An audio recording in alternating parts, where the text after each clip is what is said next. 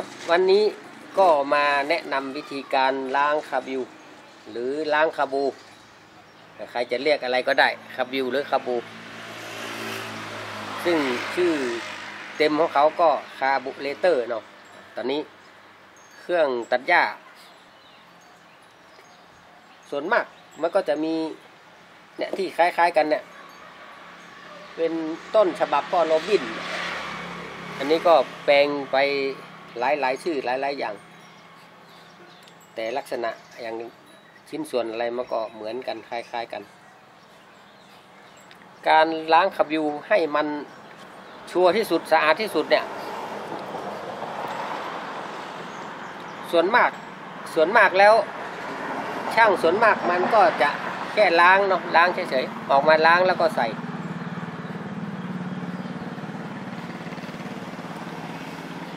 แต่ถ้าเรานึกถึงการทำงานของมันด้วยแล้วเนี่ย เราก็จะล้างได้สะอาดกว่า เดี๋ยวจะอาจจะสาธิตให้ดูนะครับอาถอด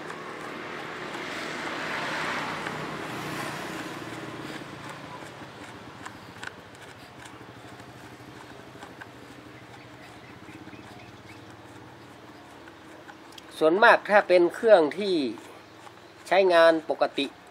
ใช้งานประจำนี่ก็จะไม่ค่อยมีปัญหามาก แต่ถ้าเป็นเครื่องที่เออนี่น็อตไม่ได้ใส่มา ถ้าเป็นเครื่องที่นานๆใช้ที หรือว่าทิ้งไว้นาน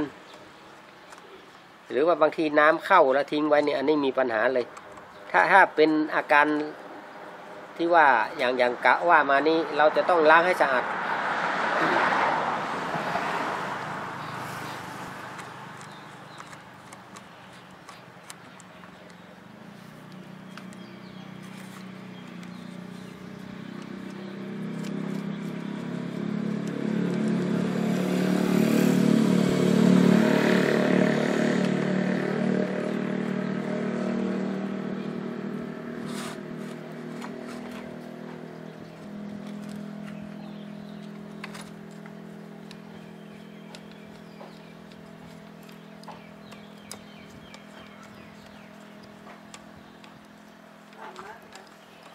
ยั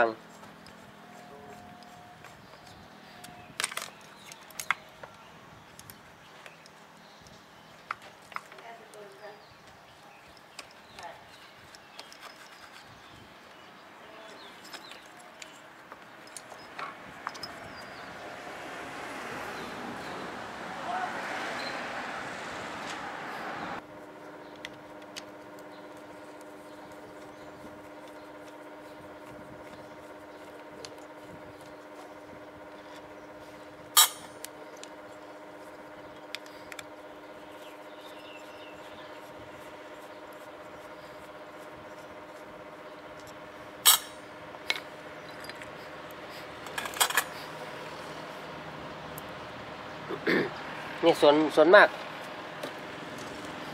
ส่วนมากก็แค่ถอดออกมา ล้างเนาะ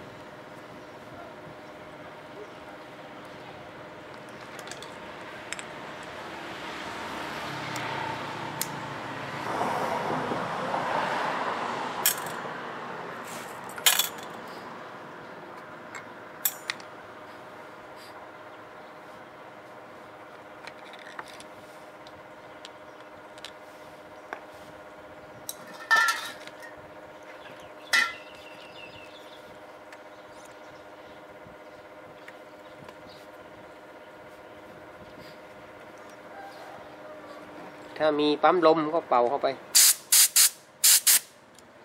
เปิดแล้วก็เป่า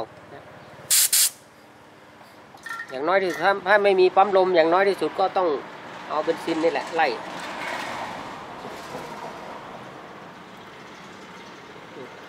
ดูมันออกนี่ ออกดู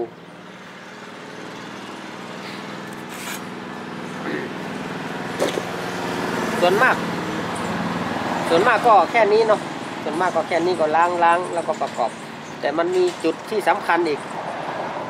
นี่มันจะเป็นที่ในนี่คือ สมมติน้ำมันนี่เวลาเครื่องมันดูดดูดน้ำมันขึ้นไปเนี่ยถ้าไม่มีอากาศเข้าไปแทรกมากๆเนี่ยน้ำมันมันก็กระจายตัวไม่ค่อยดีเนาะแตกตัวไม่ดีจะว่าไปก็คือแตกตัวไม่ละเอียดมันก็เวลาน้ำมันแตกตัวไม่ละเอียดในการเผาไหม้มันก็ไม่สมบูรณ์ เนี่ยตอนนี้มันจุดสำคัญมันอยู่ข้างในนี้ สมมุติเราหมุนออกนี่ครับ เออ ตก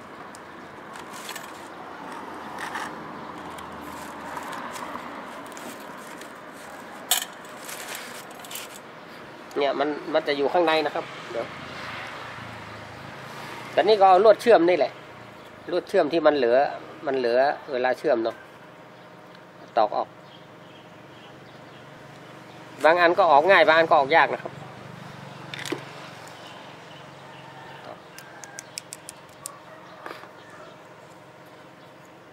ตัวนี้ ตัวนี้มันจะมีรูเล็กๆเนี่ยมีรูเล็กๆ อย่างอย่างที่เคยว่าไปหลายครั้งหลายทีแล้วนักเครื่องสีจังหวะอะไรพวกนั้น เนี่ยจะมีรูเล็กๆนี้เวลาน้ำมันมันดูดขึ้นมา ดูดน้ำมันขึ้นมาแล้ว ไอไอรูนี้มันก็จะเป็นเหมือนอากาศที่ฉีดเข้าไป ก็ทำให้น้ำมันแตกตัวแล้วก็เผื่อออกมามันก็จะผสมกันได้ละเอียดขึ้นนี่แต่ตัวนี้ต้องรูดูนะครับเนี่ยรูมีกี่รู แต่ถ้าบางครั้งถ้าละทิ้งไว้นานๆ เครื่องบางทีน้ำเข้าหรืออะไรทิ้งไว้เป็นปีสองปีเนี่ยไอ้ตัวเนี้ยมันจะมีคราบสนิมคราบ ขี้ตะกอนติดเต็มบางบางเครื่องนะแต่บางเครื่องถ้าใช้กันประจำอยู่ตลอดเนี่ยก็ไม่ไม่ค่อยมีปัญหาหนึ่งสองสี่หกประมาณสองสี่หกแปดประมาณหกถึงแปดรูรูเล็กๆนะครับ เราดูถ้ามันไม่ทะลุเราต้องหาลวดเล็ก ๆ มาแยงให้มันทะลุมดนี่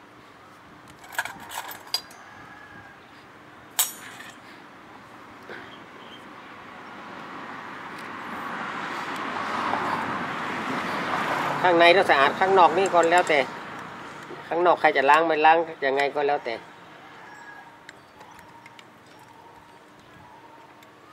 แต่เน้นข้างในต้องสะอาดจริง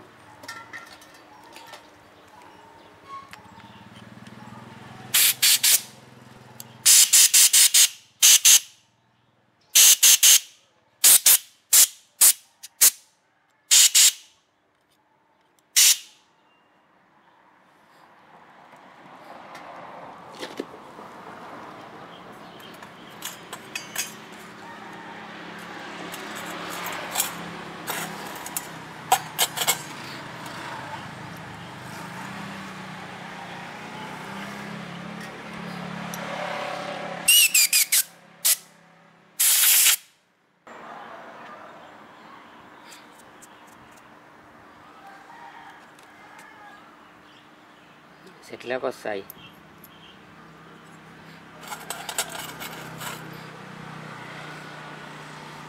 นี่บางคนเนี่ยไม่ได้ถอดออกมานี่มันเวลาล้างมันก็ไม่ชัวร์นะ นี่ล้างให้ชัวร์ต้องถอดต้องถอดถึงเสื้อเข็มเร่งนี้ออกมาเเดี๋ยวลองนี่ให้ดูก่อนว่าเนี่ยนี่ครับ การทำงาน เวลาเบา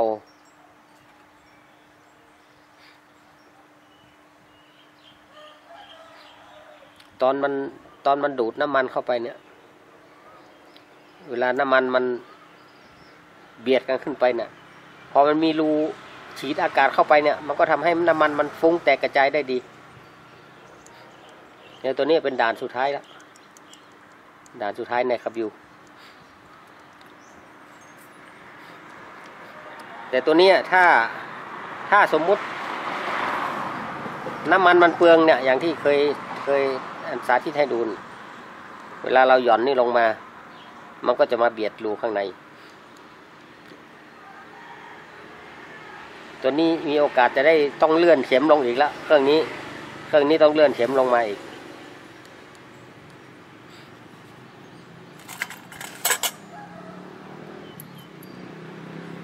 ใส่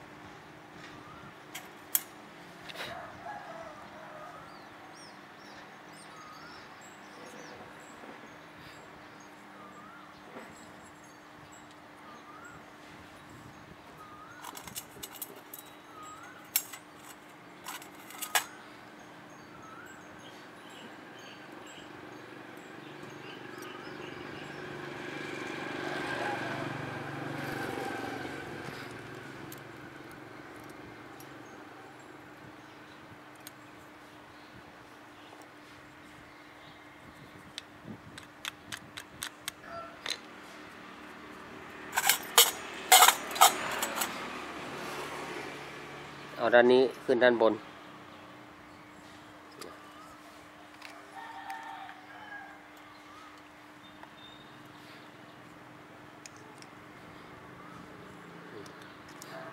เนี่ยระดับ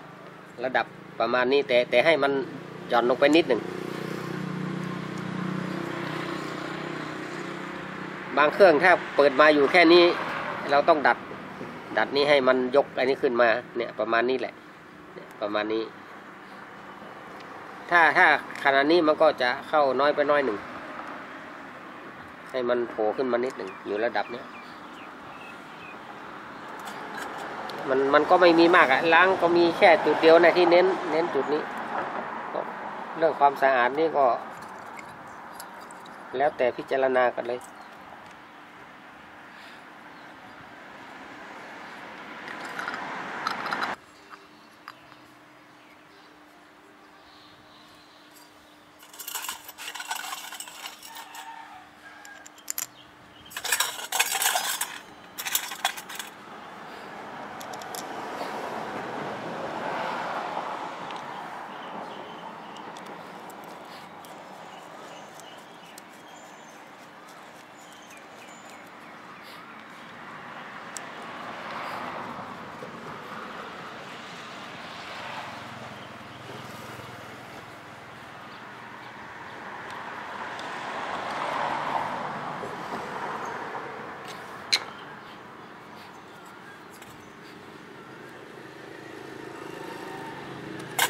อันนี้ อันนี้ถอดเปลี่ยนแล้ว ก็เมื่อเมื่อกี้ตอนเมื่อกี้มันไม่ได้ถ่ายเนาะเนี่ยอันนี้เห็น อันนี้ไอ้ยางตัวนี้เสียเนาะตัวเนี้ยตัวอยู่ที่นี่ที่ก๊อกปิดเปิด ถ้านานไม่ได้ใช้เนี่ยเนี่ยยางจะเสียปกติมันจะเรียบทั้งสองด้านเนาะ ถ้าเป็นอย่างนี้ต้องต้องได้เปลี่ยนแล้ว แต่ถ้าถ้ามันไม่แบ่งไม่มากเรากลับด้านก็ได้นะแต่นี่กลับไม่ได้แล้วเพราะมันตัวนี้มันแบ่งมาก แบ่งมากมันก็ไม่อยู่นะนะครับว่าถ้าปิดถ้าเราปิดน้ำมันแล้วยังน้ำมันยังออกยังไหลอยู่แสดงว่ายางตัวนี้เสียเปลี่ยนยางตัวนี้ตัว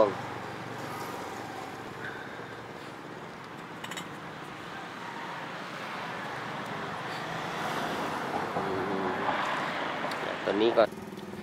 เนี่ยเราดูน็อตตั้งนี้ ตัวนี้บานี่เวลามันเอาแล้วตั้งเร่งเนาะต้องใส่ อีกด้านหนึ่งก็เป็นล็อกเป็นล็อกเป็นล่องล็อกมันไม่ให้ลิ้น ไม่ให้ลูกเร่งมันเลื่อนไปมา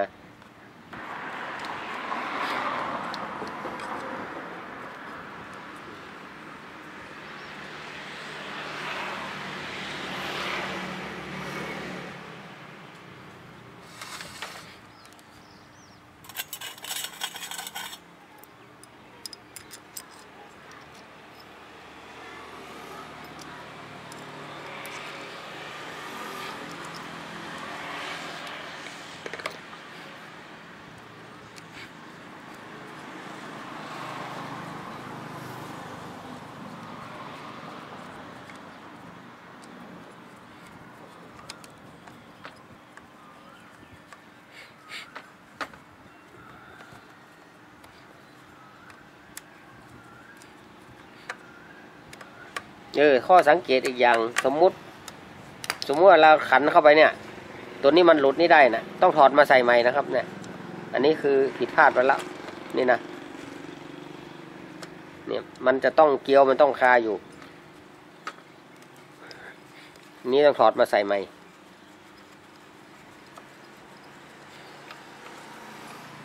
นี่เราหมุนขึ้นไปใหม่ หมุนขึ้นไปจนสุดเลยอ่าแล้วก็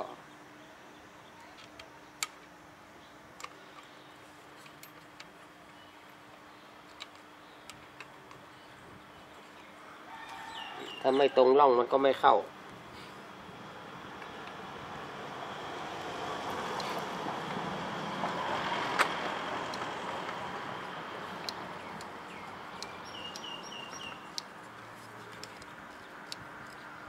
นี่ครับ เวลาขันแน่นตัวนี้ก็ต้องไม่หลุดนะนี่แน่นแล้วตอกเข้าหน่อยอะเนี่ยตัวนี้ไม่หลุด นี่โอเคแล้วครับแล้วก็มีแค่นี้นะล้างคาบิวเพราะส่วนมากมันก็จะ ข้ามขั้นตอนไอเสื้อเข็มเร่งตัวนี้ออกไป เวลาเราข้ามตัวนี้ออกไป ถ้าว่าเกิดรูตัวไออากาศมันตันไปเนี่ย มันก็มีผลแล้ว มันทำให้ส่วนผสมมันไม่ละเอียดดี เวลาส่วนผสมไม่ละเอียดดี เข้าไปเป็นเชื้อเพลิงในห้องเผาไหม้มันก็เผาไหม้ไม่หมดก็ไม่สมบูรณ์ก็เหลือคราบเยอะ ก็ทำให้เกิดปัญหาตามมา แต่ถ้ามันผสมกันดีๆ เวลาว่าส่วนผสมมันละเอียดจริงๆน่ะเผาไหม้แวบเผาไหม้หมดไปเลยหมดไปเลยน่ะ มันก็ไม่เหลือคราบขมเมาถึงเหลือก็เหลือน้อยที่สุด ถือว่า มันก็จะทำงานได้สมบูรณ์ที่สุด ก็คือ เชื้อเพลิงผสมกันได้ละเอียดที่สุด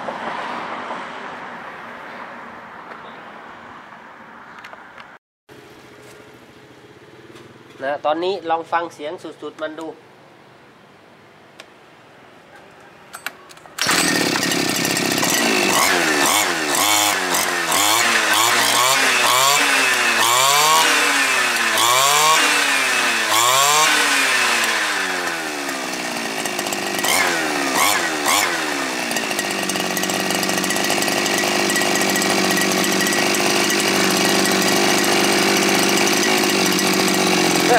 องนี้ก่อนมานี่อาการจะรวนมากๆ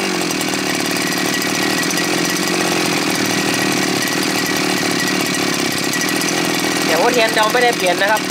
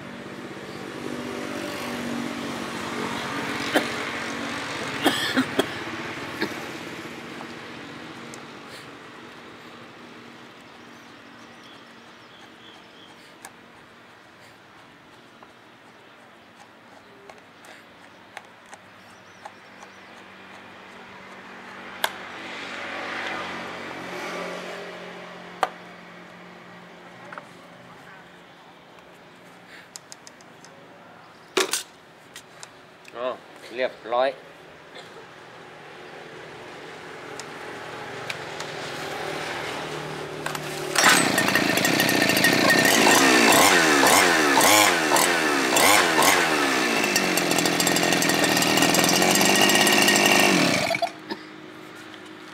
เสร็จเรียบร้อย